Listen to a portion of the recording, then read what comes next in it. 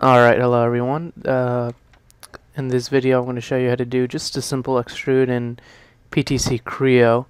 So assuming you have uh, uh, Creo Parametric 3.0, let's go ahead and get started. And we're going to go and just open up a new a new part.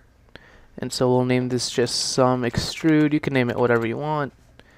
You don't want to use the default template empty, don't copy the associated drawings. And so you'll be left with a blank screen with no planes. So we'll enable the planes by clicking plane and you'll see our datums 1, 2, and 3 pop up. Um, so just to create an extrude, what we'll do first is be sure to click in the model tree the sum extrude.prt because if you if you click a datum it, it'll sketch it on that datum that you selected. So click this part and then we'll hit extrude. And then you can't really extrude anything you haven't sketched yet. So first we've got to sketch it. You click the placement tab and then you define the planes on which you're going to draw your your sketch. So we'll just do datum 1 and datum 3 and we'll go ahead and sketch that. And it'll put us in sketching view already. Notice the extrude in the sketch tab. So let's say I just want to do a, a simple rectangle. I'm gonna gonna include center rectangle from the templates already chosen. I'll include the center right here. Left click middle mouse click to finish. Now the way the extrude works is that it's going to extrude a solid object depending uh, based on the shaded area. So if I'm just going to show you it's going to extrude this shaded area right here. We're going to hit OK on the sketch part and you'll see it'll turn an orange color and then you use the middle mouse button to rotate and it's a cube. You can, uh, once you've finished extruding, you can change the dimensions, really only the, the 3D dimension, the Z direction, by either typing in a value of, let's just say 100, or you can click and drag by clicking this square button. And that's just how to do a simple block. Uh, many, many other extrude versions form.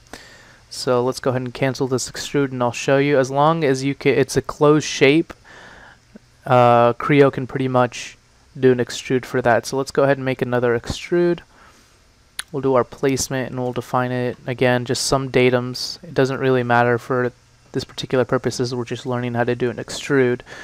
So I want to go to sketch and let's say I want to do a circle. We'll just do a circle and notice how it's shaded. I hit OK and it'll make a cylinder. It's pretty much just that simple. You can play around with extrude if you want. Let's try one more. Maybe do something hand drawn. And datum 1, datum 3. And so we're back in the sketching view now and let's see let's do a line chain. I'm gonna hand draw this. So let's say I want kind of like a picture frame meaning that I only have the edges. And let's line those up. And then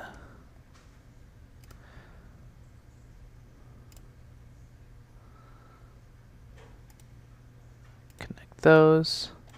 Notice how it detected it detected the area between two complete objects. So that's what it's going to shade in, which is exactly what I wanted anyways.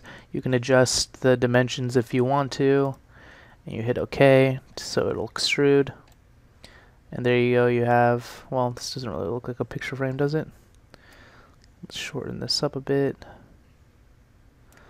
Now it looks more like a picture frame, or just some sort of frame a very badly shaped frame. But there you have it. That's how you use the extrude feature here in Creo.